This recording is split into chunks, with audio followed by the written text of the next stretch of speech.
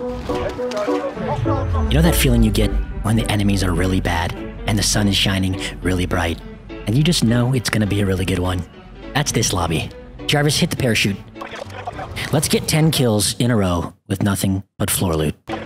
Okay, I'll admit, the stairs first, it's a risky play, and now Bobby No Brains here thinks he has me by the balls with my back turned, but he's about to make a very important mistake that I've baited him into.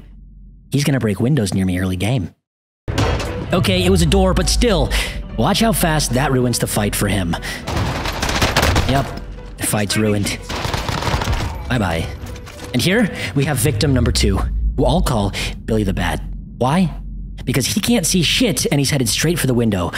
Although he can't seem to hear shit either, so we'll just call him Billy Blind Eyes. I think I'm also going to take his dead silence here and assassinate him with it, just to make things a little worse.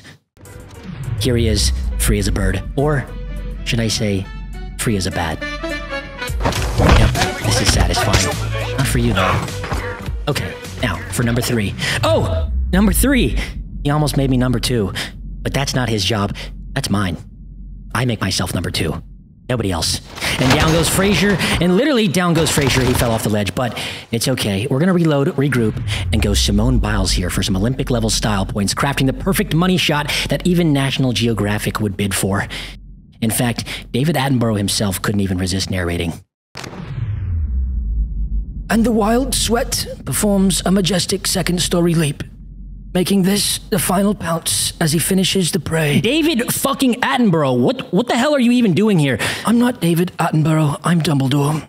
The movie version from books one and two. Chamber of Secrets was a rather highly undue. Okay, Jarvis, I don't have time for your Walmart Dumbledore bullshit. So let's finish this off and move forward. Right away, sir. Perfect 10 out of 10. Simone Biles takes home the gold, but we've got three, and there was a fourth, so we'll have to take this car here and go find him. Two things. He did it again. Bobby No Brains is out here breaking more doors than the feds in 1920s Brooklyn. And he's definitely gonna need a drink after this one. Good thing it's not illegal anymore. Well, I'm willing to bet Bobby here is still 12, maybe even half that, so he probably won't have that drink for a while. Now, the second thing, we have a possible third party incoming. So I'll have to get inside pretty quickly after I down this idiot. And he's down, and here's the third party right on time. Now, let's make this third party numbers five and six. And here's Mario, followed closely by Luigi, dropping down right now. Yep, both Mario brothers bleeding out on the floor. But Luigi's gonna get away. Must have ate a magic mushroom. It's okay, he'll be back. Yep, he's back. And wow, it's the world's hottest Luigi. What a shame. Yep, goodbye, Luigi. Now, for lucky number seven, who's not so lucky because he appears to be wielding a weapon from Far Cry fucking Primal, and I've got a mini machine gun pointed right at his back. Old strategy. Poor planning from this idiot, and down goes seven, and eight makes his way through the window. Down goes eight, immediately dropping to the floor. Now, we just need nine and ten. Here they are. There's nine. There's ten.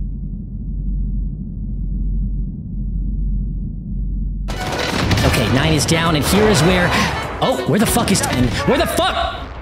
Oh my god. Am I 10? I might be number 10. No, I'm gonna escape. I will not be number 10.